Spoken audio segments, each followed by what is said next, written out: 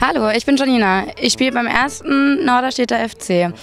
Ich präsentiere euch heute den Witz der Woche. Und zwar, ein Mann geht zum Doktor und sagt, Doktor, Sie haben mir doch dieses Stärkungsmittel verschrieben. Sagt der Doktor, ja, was ist denn damit? Sagt der Mann, ich kriege die Flasche nicht auf.